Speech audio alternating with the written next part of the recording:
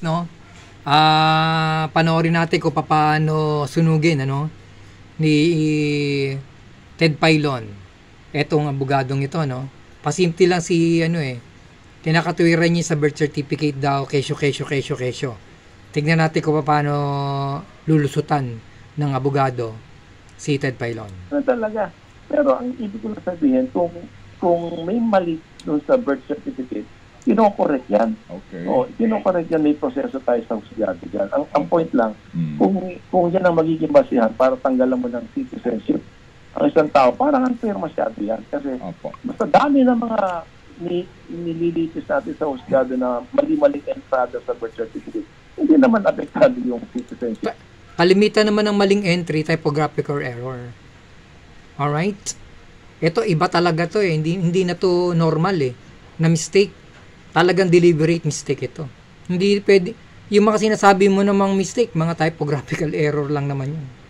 It ng isang Opo. petitioner. O, Okay. Sige po. So kung sinasabi ho ninyo na hindi naman na 'di ba hindi naman na bago yung mga pagkakamali sa entry ng birth certificate, no? Yan, At ito na. hindi makatarungan natanggalan mo ng citizenship ang isang tao dahil lamang sa maling entry sa birth certificate. Oh, mali. Yan, ah, tignan nyo kung paano tirahin ni, ano to, ni Ted Pailon. Eh paano po itong mga mali? Mali ba ito na sinasabi po ng AMLAC na yung pong bank applications ng inyong kliyente, iba-iba ang nanay. Iba-iba ho ang mga pangalan ng nanay niya. Oh, Meron pong Winnie Lial, Wenny Lial Lin, Wenny Lin Lial, Oh. Opo, may A- Amelia Lim, Opo, iba-iba pong pangalan. Ano ho yun? Mali lang po ng entry? Hindi ko rin masasagot yan kasi una-una,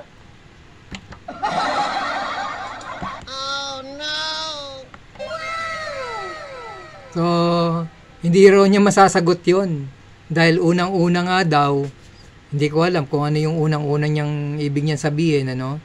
So, napakaliwanag doon, no? liwanag nung tirada ni ah, Sunog talaga, no? Sunog talaga.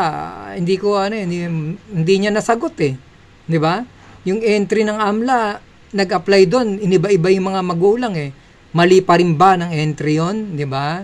Oh, 'di ba? Hindi wala nang lusot eh. Oh, hindi siya nakasagot ngayon. Nabigla siya. na hindi pa naman namin na Mm-mm. confront yung mga allegation na yan, yung mga Mm. Hindi document. allegation yun, document. Ano yun eh? AMLA yun eh. Bakit magsisinungaling ang AMLA? Eh, records lang naman yun. Saan nila pinagkukuha yung mga pangalan na gano'n? Ano, ibay ng AMLA yung records, eh, permado siya dun. Siya yung nag-apply sa bank eh. Yun ang pinaglalagay niya na nanay niya eh. Tapos sabihin mo allegation, hindi allegation. Record yun. 'Di ba? Hindi yun allege. Hindi yun ina-allege, kundi yun ay facts. Document. Maliban na lang kung binago yung documents, bakit naman babaguhin ng, ng mga yung documents ng ano no, no ng ah, ng AMLA, 'di ba? Ay may kopya din kayo noon. Bento na yan. Hmm. Kung kagaya ng Invento. ko sinabi doon sa... Ba't mag-iimbe bakit mag-iimbento ang AMLA? 'Di ba? Bakit mag-iimbento ang AMLA? Baka ikaw lang ang nag-iimbento. Sa si Lia- si ano si Alice Go, guwap si Waping ang nag-iimbento. Bakit mag-iimbento sa inyo ang ah, ang ah, AMLA, 'di ba? gagamitin nila Ano naman mapapala ng AMLA sa pagsisinungaling? yan sa proper forum, edi magkakaroon kami ng pagkakataon Mm-mm. na ma-scrutinize yung mga documents na yan. Mm-mm. O, eh, malay mo, siya ba talaga yun? Hindi na, Opo. so premature. eh. Hindi ko na sinasabing hindi, no? Mm-mm. Hindi ko na sinasabing siya, pero as a lawyer, Pumir siya nga yung nag-apply. Sinabi na ang liwanag ning yung application niya ng mga bank records niya, nanay niya, iba-iba. Di mo narinig yung sinabi. Ano, ulitin pa, ulitin pa natin yung sinabi ni Ted Pailon. Di ba? so premature to comment on something na hindi ko Opo. na papag-aralan, hindi ko nakikita. Mm-mm, mm-mm. Opo. Eh, paano po naman po yung passport po naman na iniharap din po ng Immigration Bureau? Ah, ito ho ba inyo na pong nasuri din na mukhang may pumasok po na oh, yung picture nga po ikahawig ng inyong kliyente at Chinese citizen pero ang tinutukoy po ng immigration mukhang it's the same person as your client. Eh, yun na nga, mukha. Sabi nila, de, ganun din yun. Kasi kung talagang Okay? siya yun, eh, Mm. yun ang Ah. katotohanan. Lalabas naman ang katotohanan. Pero sa ngayon, hindi ko sinasabing siya yun. Kasi una, hindi naman natin Oh, nag nagsisinungal na nagsisinungaling yung ano, immigration, nagsisinungaling yung DFA, ganon. Di ba? Parang ganon, ano, record, no? Ah, passport niya, no? ah, ano pa yan, na-confront yung mga ganyan dokumento. Mhm. Sabi naman, kung ano yung totoo, then we will, we will abide with that. Ang katotohanan naman talaga kailangan natin ilabas eh. Mm. Kaya lang, ang, ang sinasabi ko lang, sana mabigyan ng tamang proseso at saka mabigyan ng malinis na laban yung yung tao. Bakit ano ba, ma- ano ba maduming laban dito? Binibigyan nga kayo ng pagkakataon na tinatanong nga lang, tinatanong lang kayo. Yung mga records na yan, galing lang yan sa sa bureau, galing sa department, sa immigration, sa NBI, sa AMLA, sa PSA. Yun yung mga records na pinag-a-apply nila. Si Alice Go ang nag-apply. 'Di ba? Siya yung nag, uh, nag-fill up doon. O, ipa-verify lang sa kanya. O, umattend siya. 'Di ba? Totoo ba na nag-apply ka sa AMLA? Ikaw ba totoo ba na pumunta ka rito sa sa ganito? O, eh, ano niya? Total naka-video naman siya doon eh, nung pumunta siya sa BOI eh. Kasi nung pumunta siya doon, ah personal siyang pumunta doon eh. So hindi na nga siya nagpakita, 'di ba? Nagtatago-tago na. Oh. Paano gagawin natin? Parang hindi naman lahat ng naakusahan, eh, masama kagad sa paningin ng tao. Kaya naging masama, Hindi mo ba sinungaling, malinis? Sinungaling, kas, nagkisinungaling yung ano mo, halatang halata eh. Biruin mo, wala siyang recollection nung maliit pa siya. Wala siyang bakuna. Wala siyang, di siya nag-birthday. Ang naalala niyo lang, 13 years old, 14 years old, lagi niya pinagmamalaki sa Pilipinas. So, di ba? Tapos, sa hilot, ang yaman-yaman. Paano, sino namang gagong maniniwala na ah may may merong kang farm tapos sa hilot ka isisilang. Sino maniniwala doon na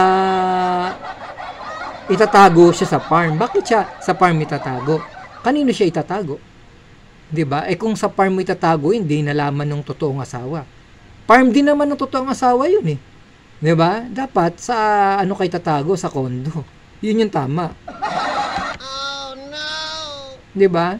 Kung, Hindi. kung, kung Oh. sila na totoo yan, lalabas din naman yan eh. Opo, wag, Oh. na lang, wag na lang ilabas sa ganyan mga ah, forum na makakasira sa pangalan ng tao na wala pa naman talaga form. Paano makakasira? E tina, yun nga yung venue eh. Para isagutin nyo kung gaano katotoo yun eh. Actually, records pa lang yung pinapakita. Wala pang accusation, wala pang allegation. Sinasabi lang na may records kayo na ganito. Na nag-apply kayo sa AMLA na ganito. Na yung PSA nyo ganito. Pinapakita pa lang sa inyo eh. Bakit angal kayo ng angal? Di ba? Sabihin nyo lang, hindi kami nag-apply ng ganyan. Hindi sa aming records yan. O, i-deny nyo lang ng i-deny. Eh, pirmado rin kayo din eh. May thumb mark pa kayo. O, paano kayo madideny? Hindi kayo kasi makaka-deny. Record, public documents record yan eh. Oo. Tapos iiwas kayo, di ba? Ano, gulangan? Oh. mal na ah, ano sa kanya, kaso, Hmm. di ba? Oh. Pero hindi ho ba, ah, kung sabi ho ninyo, malinis na laban, bakit ah, in, mali bang ginagawa nila Senator Risa Ontiveros, nila Win Gatchalian, ng Senator Win, na iharap itong mga bagay na ito para humakonfront ng inyong kliyente in an open forum? Una-una, boss, ang trabaho ng Senate is Ay, iniba mo pa yung trabaho, di ba? Iniba pa yung trabaho. Eh, kaya nga, para makonfront mo eh, yun nga yung venue para ano eh, ni, may masyadong magulang tong anong to eh. Yun lang po muna at maraming maraming salamat. Paki-like and share ho mga kapatid no para makarating no sa kinauukulan. At ang ating ah, ano, paki-like and share po at ah, kung may pagkakataon at panahon ho kayo at hindi naman mabigat sa inyo, paki-like and share na lang po no. Dito nakita natin kung paano sinunog ni ah, Ted Pailon, itong abogado na si Stephen, ano yung abogado ni Alice Go. Yan po muna at maraming maraming salamat sa inyong pagsubaybay.